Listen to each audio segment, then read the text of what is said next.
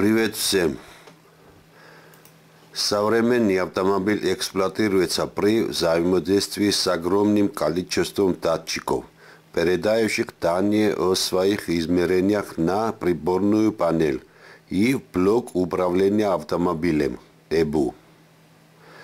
Каждый из них по-своему важен, а отказ одного из датчиков может привести к нарушению работы двигателя или систем автомобиля. Один из таких датчиков является датчик температуры охлаждающей жидкости, ТТОЖ, который контролирует температуру ОЖ в двигателе. Датчик температуры охлаждающей жидкости представляет собой термический переменный резистор, заключенный внутри металлического корпуса резьбовым наконечником. При нагреве термоэлемент снижает сопротивление электрической цепи, что позволяет электронному блоку управления определить температуру охлаждающей жидкости. От работы температурного датчика зависят следующие функции. Первое. Традиционно от сигнала измерителя функционирует указатель температуры охлаждающей жидкости. Второе. Своевременное включение вентиляторов принудительного охлаждения двигателя при достижении антифризом установленного порога температуры около 100 градусов. Третье.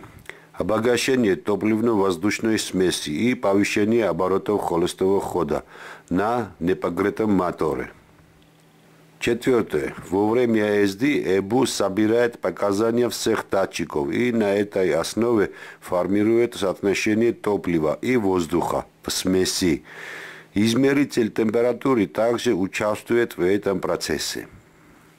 На большинство автомобилей низшей и средней ценовой категории применяется один температурный датчик, выполняющий несколько функций одновременно – Обычно он стоит на корпусе термостата либо на патрубке радиатора.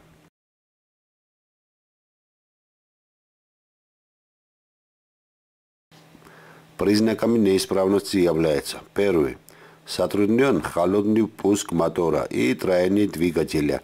Машина заводится, но иногда сразу глохнет. Повышается расход топлива. Второе. Нестабильная работа на холостом ходу, особенно на непрогретом двигателе. Третье. Температурный режим находится в пределах нормы, но охлаждающая жидкость начинает кипеть. Четвертое. В случае обрыва электрической цепи датчика температуры ОЖ, вентилятор охлаждения начинает работать на полную мощность и перестает отключаться. Пятое. Подтеки антифриза из-под резьбового соединения датчика. Если произошел отказ датчика, то ЭБУ воспринимает это своеобразно. Как проверить и заменить датчик температуры? Коди ашибок связанные с датчиком температури следующие – они указывают на проблемы как с самим датчиком, так и на повреждение его проводки. Для этого, чтобы провести диагностику датчика, необходимо проделать следующее. Соблаговременно заводим автомобиль, даем ему поработать на холостом ходу до температуры 90-95 градусов. Далее необходимо отключить контакты, снять розетку на датчик и посмотреть на то, что будет указывать стрелка на панели приборов. Первое. Если стрелка осталась без движения и никак не реагирует на происходящее, причина кроется в проводке, либо в самом датчике – Необходимо проверить на целостность провода, а уже потом датчик. Второе. Стрелка легла на ноль.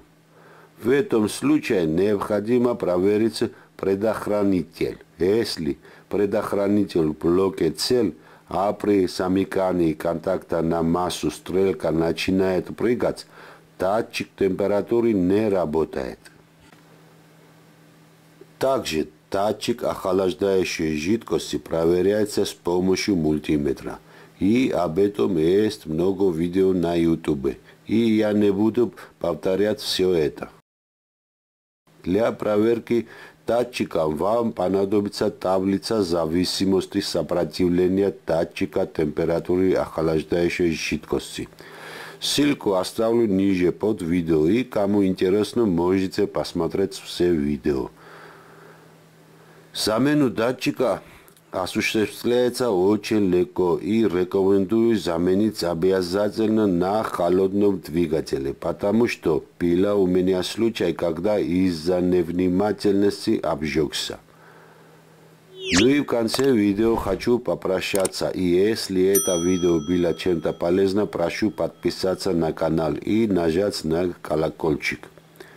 Друзья, если у кого-то есть какой-то опыт, связанный с датчиком, пишите, пожалуйста, в комментариях этого видео.